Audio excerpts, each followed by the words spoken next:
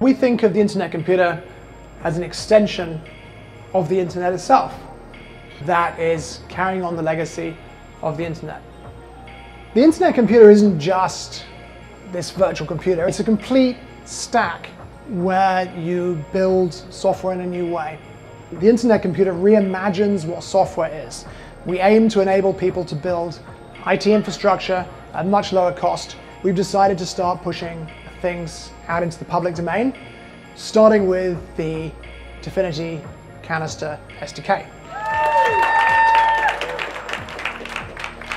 We've also been working on a new computer language. It's called Motoko. So I'm pleased to announce uh, the Motoko uh, language.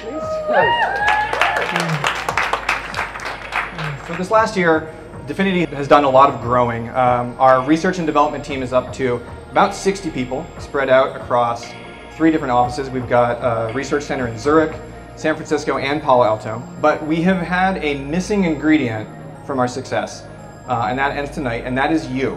And the first thing that we are releasing is the Dfinity Canister SDK.